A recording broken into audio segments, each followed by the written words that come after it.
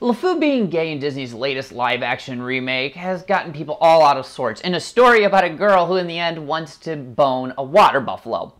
But that isn't stopping Disney from taking many more of their classical masterpieces and making them new again for some extra profit.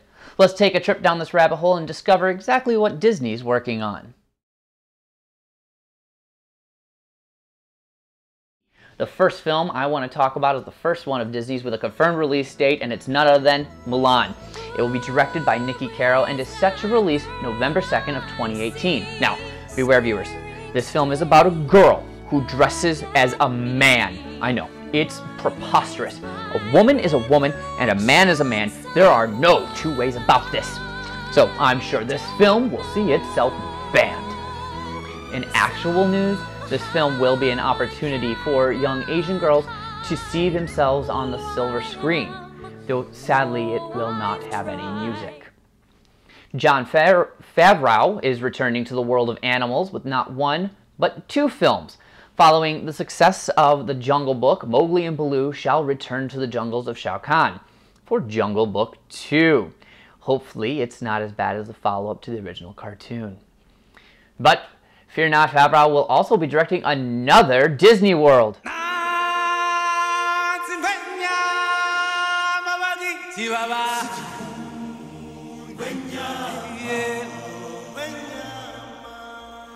Oh yes, the circle of life is coming around once more as Simba, Scar, and even Mustafa return to life once more, and then Mustafa will die again. It's said that the same animation scene in the Jungle Book will be used to bring these classical Hamlet reenactors back to life. Neel Sethi is expected to return as the older Mowgli in Jungle Book 2. Donald Glover and James Earl Jones are expected to appear in The Lion King. Also, rumored Queen Bey will be doing some voice work.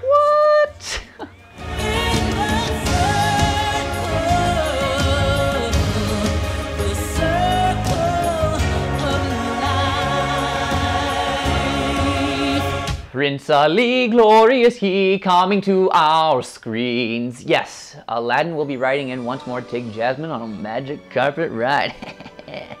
this follows suit of the Broadway play Aladdin being quite a hit, and it makes sense following other Disney's remakes.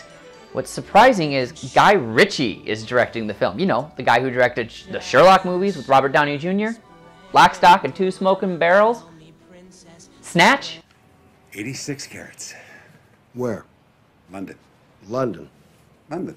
London? Yes, London. You know, fish, chips, cup of tea, bad food, worse weather, Mary fucking Poppins, London. Of course, what will be interesting to see is how Robin Williams' ad lib script will actually be handled for this film. At least we know this one will have those show-stopping numbers we grew to love. Mr. Aladdin, what will your pleasure be? Let me take your order, jot it down. You ain't never had a friend like me. I know, you thought that was the transition out, but it was in fact the transition into this follow-up story. Genies has also been announced, a prequel to Aladdin that follows Genie, probably several of them based on the name, and it explains how he became trapped in lamp. Disney initially wanted to use outtakes from Robin Williams' original performance, but his estate has locked them down for another 25 years. No director has been announced, and of course, no release date or any cast. But let's stay in prequels and take a look at another live action film, Cruella. Oh, yes, everyone's favorite dog Skinner. This film will take a look at how Cruella became, well, Cruella de Vil. And it will have Emma Stone in the title role. And then there's Maleficent 2. The whole reason Disney is taking these villainous characters and reimagining them is because of the success of Maleficent. And let's be honest, I mean, knowing what makes the villains tick is always far more interesting than a villain being a villain or just plain evil. Only Donald Trump's just plain evil. Maleficent 2 will star Angelina Jolie in the title role with Linda Woolverton writing the script once more. But wait, there's one more villain remake, and this one is the most surprising. Chernabog, you know, the demon on the top of Bald Mountain. you know, from Fantasia.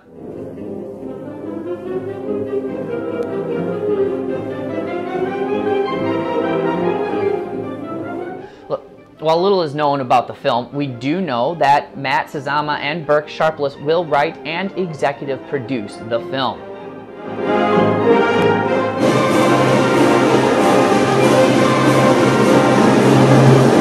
Let's get a little wet. The remake of Disney's Little Mermaid was announced last year, but it isn't moving very quickly. Matter of fact, it seems to be swimming backwards. Two directors have left the project, as well as Chloe Grace Moretz, who was cast as the lead role. It really kind of seems like no one wants to be a part of the Little Mermaid's world. Darling, it's better down where it's wetter. Take it from me. But, you know, maybe that's because people want to take to the sky and explore a world where they can never grow up. Have you caught on yet? Peter Pan is making another film debut because we just aren't tired of these yet. This one will be written and directed by David Lowery, the man behind 2016's Pete's Dragon. This film, unlike the plane wreck that was Pan, will be a more direct adaptation of J.M. Barrie's classic stories. Please remain seated as the aircraft remains in the air. Disney has also announced they will be cashing in on the incredible popularity of Tinkerbell, casting Reese Witherspoon as Tink in an upcoming live action film. The script is still being written. King Arthur has been popping up on the big screen for ages, but none have stuck with audiences like the telling of his tale in The Sword and the Stone. So, it's no surprise that this film has also made the list of upcoming live-action Disney remakes. And of course, Disney wants someone who understands the time period of this film. So they have brought on none other than Bryan Cogman, a writer and producer of HBO's Game of Thrones. Oh god, you don't think that will influence any scenes with Madame Mim, do you? Because I'm the magnificent, marvelous Mad Madame Mim. Another film that will be swinging to our box offices is a reboot of Pinocchio. It's still in its early stage with Guillermo del Toro working on the script, who said in an interview with Collider he would be working with Patrick McHale on the script for the stop animation piece. That's the only way to Let's head back to live actions and take a shortcut here through Hundred Acre Woods where Winnie the Pooh and friends will see a visit from a grown-up Christopher Robin.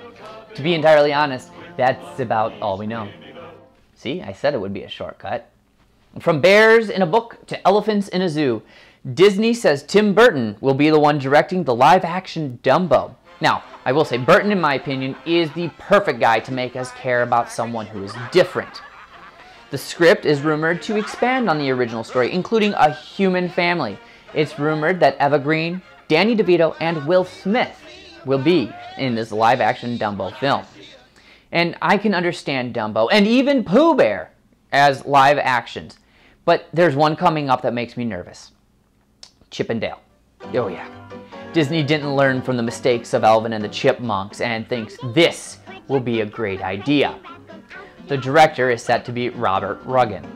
Please, please, Disney, do not ruin my childhood with this one. So let's talk players. Oh yeah, Disney has one in particular. Prince Charming, the man who wins the hearts of both Cinderella and Snow White, and he sings in a riverbed with his brother Prince Charming. Agony that can cut like a knife. I must have her to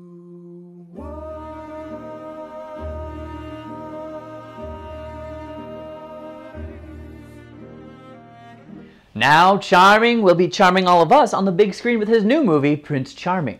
The team behind the controversial Beauty and the Beast is also behind this one.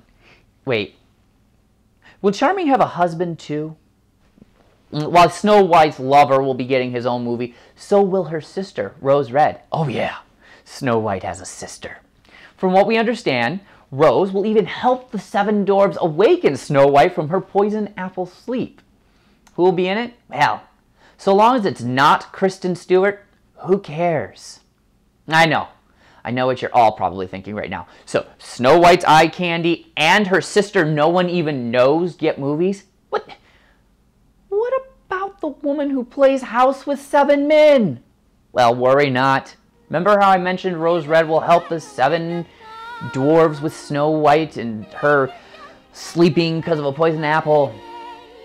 Well, apparently, Snow White and her sister's films will work in conjunction. You know, like the Marvel Universe movies. So yes, Disney's first princess is getting a live action reboot that will follow the traditional Disney story and not suck. It will feature brand new songs being written by La La Land composer and lyricist Ben Pasek and Justin Paul. The story is written by the Girl on the Train writer Erin Cressida Wilson. Who knows? Maybe it'll be called Girl in the Glass Coffin. Join us every day for a new Tiny RAM and every Saturday for a new episode of Ram TV. Don't forget to like, subscribe, share, hit the little bell, and of course, leave your comments below. Let us know what you're thinking about these new Disney movies, and let us know what else you want to hear about.